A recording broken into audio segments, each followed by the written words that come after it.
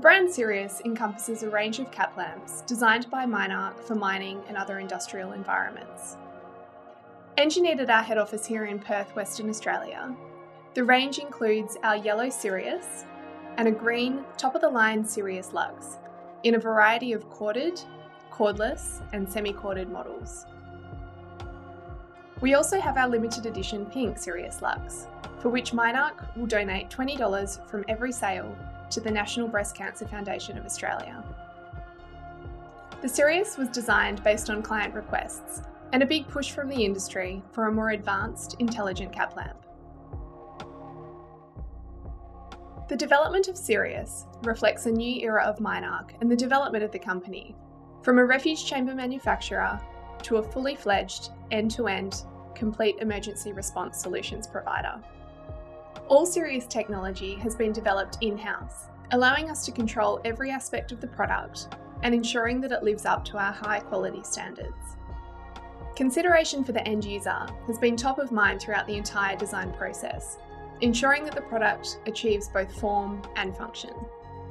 The range has been named after Sirius A, the brightest star in the night sky, also known as the dog star. It also has Greek origins meaning sparkling, which is a reflection of the powerful beam that our own cap lamp projects.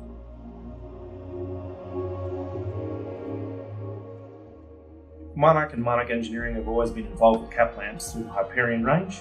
We were involved in the design of it in terms of its waterproofing, the cable connections, the LED selection, and lens type of stuff as well. In terms of cap lamps in general, MineARC quite already heavily invested in that design area. What we did want to do though is take a lot of that knowledge and, and start to build things at a high technical level here in, in Perth, Western Australia. The type of things we wanted to try and work on were the, the usability of light, the wide versus the narrow beam that you see on the Sirius is something that we wanted to look at from an understanding of how people use the light in different lighting conditions through to what people are actually doing on the ground. The lamps themselves as well are getting quite technical, so there's a requirement for, for tracking and, and, things of that nature in it, where they're making use of our microcontroller and, radios and, and things of that nature. One of the significant differences between a Hyperion and a Sirius is that it's got two very distinct lights, two very distinct LEDs and lenses, that do two different things. The wide beam is something that you're able to get into close quarters, be able to see more around you.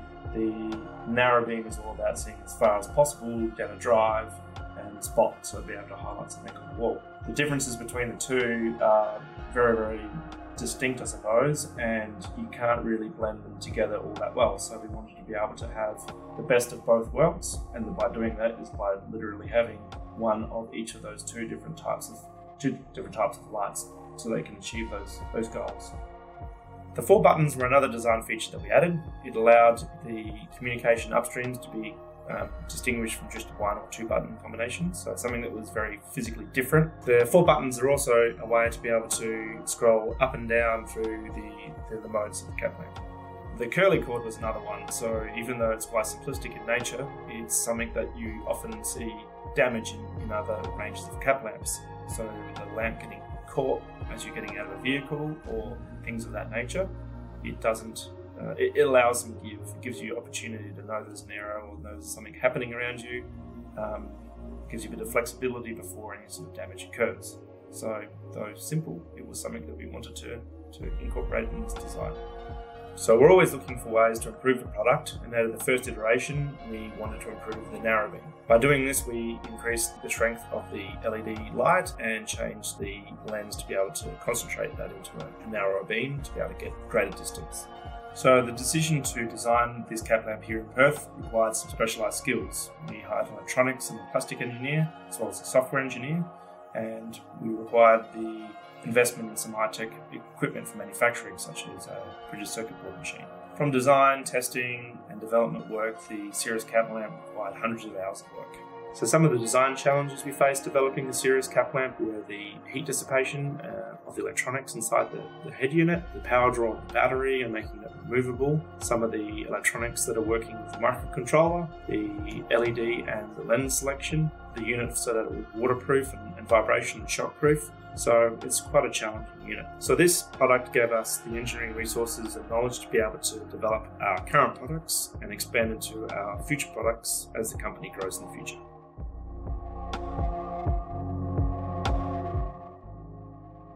The main developments we've seen over the years is uh, the increase in technology that's included within a lamp. So no longer is a lamp just used to light illumination, it's used to provide tracking, monitoring, even communication with the miner that's wearing it you think about the average miner, like space is at a premium. You've got a belt, you've got a self-rescuer. So to carry additional kit can get quite heavy and quite cumbersome. So the more you can jam different things into the one bit of kit, the easier that's going to be for the miner to wear. Yeah, we've seen a heap of um, change in industrial Internet of Things within underground mining particularly. This is led mainly because of the availability of networks underground now. They were once the exception, now they're very much the rules. So you've got everything from LTE, more advanced mines to Wi-Fi to what we have with Guardian Connect, uh, you know, Ethernet over coaxial solution. So having bandwidth or having data available underground um, just gives you more options to do things. Uh, early adoption is the hardest thing to do because you don't really have anyone in front of you to refer to. But if you can get it right, and you have to be prepared to fail because uh, early adoption never hits at 100%. Uh, but what we've seen those clients that have gone in and, and done something new for the first time um, will go through some pain, but ultimately will come out ahead of the pack when it comes to anything from the network that they have sitting behind their mine through to you know the wearables or the, the kit, or PPE that the individual miners are wearing. So Sirius Lux is critical to Guardian. It's the vessel that contains the chip that allows everyone to know where you are. And that's not just in uh, worst of circumstances, you know, fingers crossed that never occurs, that you need to seek safe refuge. But, um, you know, being able to know where people are within the mine, being able to optimise your shift, uh, being able to um, correlate location with gas monitoring, uh, being able to adjust things like vent uh, to that area based on the number of personnel that are in there, uh, being able to um, clear the mine for firing more efficiently.